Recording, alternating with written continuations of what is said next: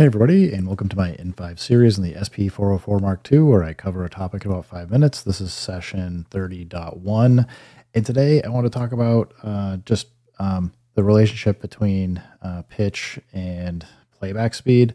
So today you can get all the warping that you want. You can take a sound and adjust the BPM and not have it uh, in a lot of software and even some of the hardware, not have it change the pitch.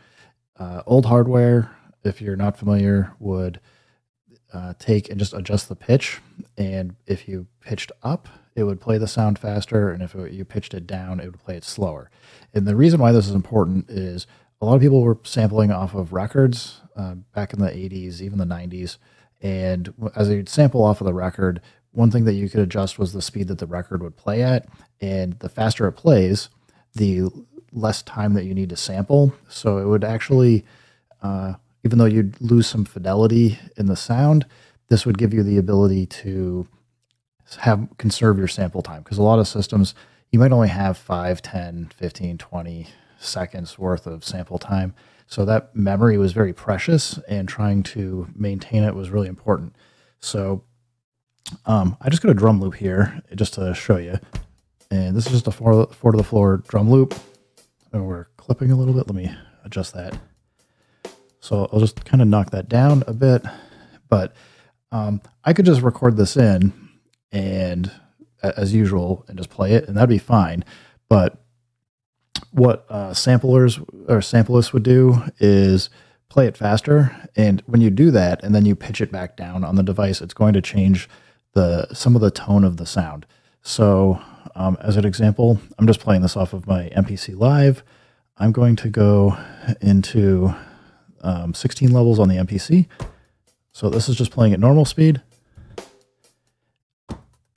And that's what it sounds like playing it an octave up or, you know, twice as fast. So if I come in and I actually play it twice as fast and record, actually, you know what?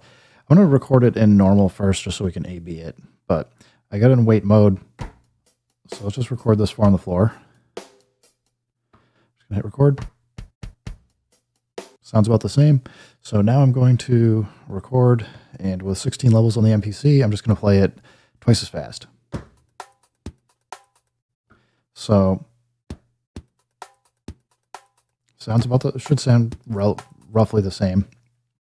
Now, what you do because we've now saved the that time, you'd come in and do the pitch speed, and we now need to play it an octave lower.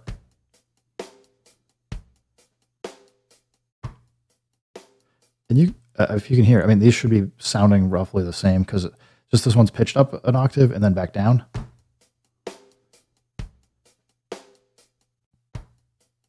And it just, I don't know about uh, you, anybody else listening out there, but it sounds a little bit fuller. And I think a lot of that's because it's losing that high end content, some of the high end content.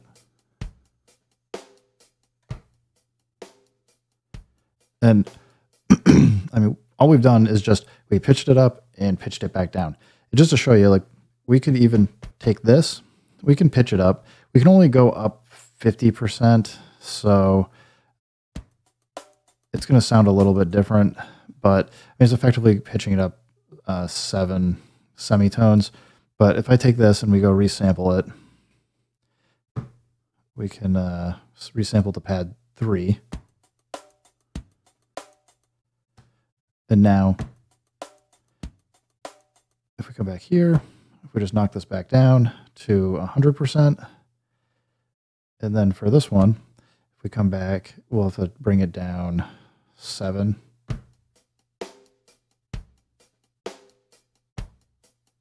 I don't know.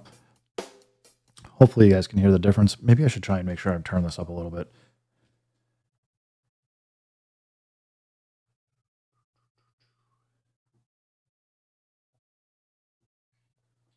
Sorry, just trying to make sure. Make sure I find the right one. So this is just a resample.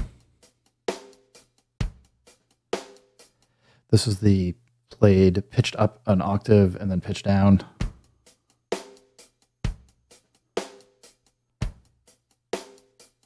Now, uh, and I would say again, like you can get similar effects by just doing some low, a little bit of low pass filtering and stuff, and get a little bit similar, but you definitely do get a bit of a different sound. So I would just say, guys, um, you know, definitely think about uh, taking some of your sound if you're interested, pitching it up any amount, and then pitching it back down, and kind of just see how it sounds to you. See if you like it a little bit more, because it can, as I said, change that tonality and give you a different sound.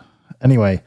Um, I'll uh, call it quits for today. But thanks everybody for stopping by. Keep making music. Keep checking these videos out. Hope you're learning some stuff and have fun. Peace.